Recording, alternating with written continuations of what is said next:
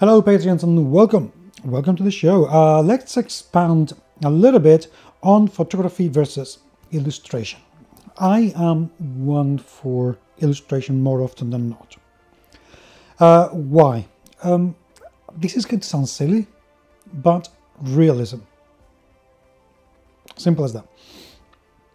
If you have a game set in a fantasy world, to set up the photography, to make it believable is going to be incredibly hard for one reason and is that photography doesn't really give the brain that much of a gap to fill up.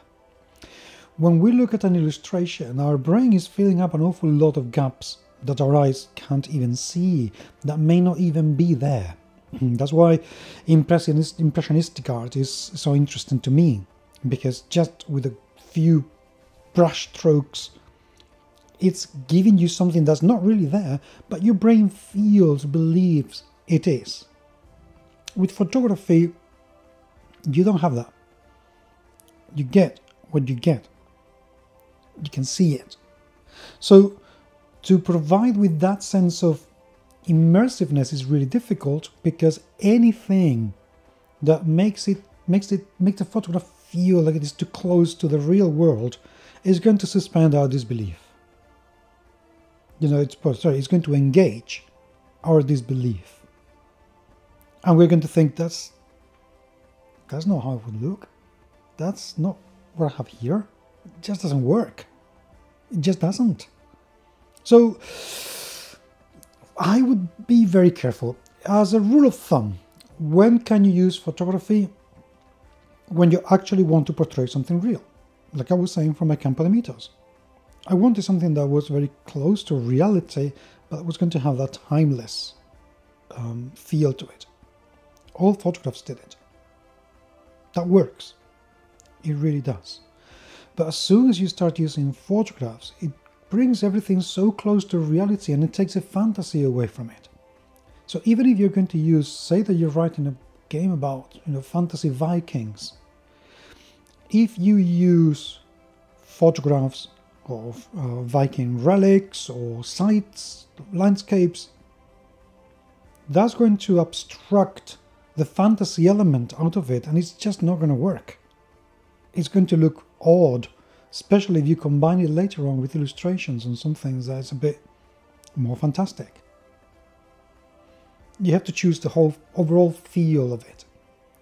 Can you do it? Well, it probably can, but the things are usually just not worth the extra effort.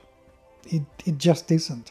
Yes, some some games have used it amazingly. I think it was Unknown Armies the third edition that used photography very well indeed.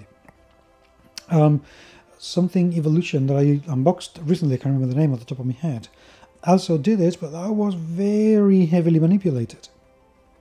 So it can be done, but it's quite a skill and one that if you think about carefully enough, the likelihood is that you're going to think is just not worth it. It, it just isn't.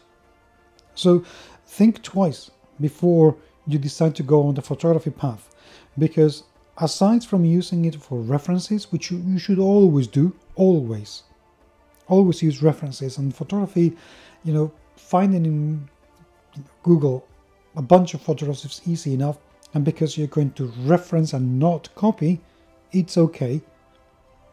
It will make your work a lot quicker. And if you have to write a brief for the illustrator, even more so. So, so that's that's my take.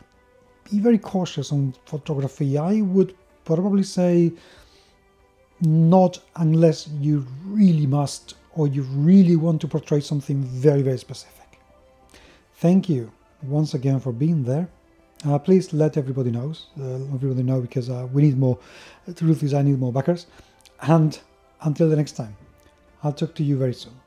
Take care.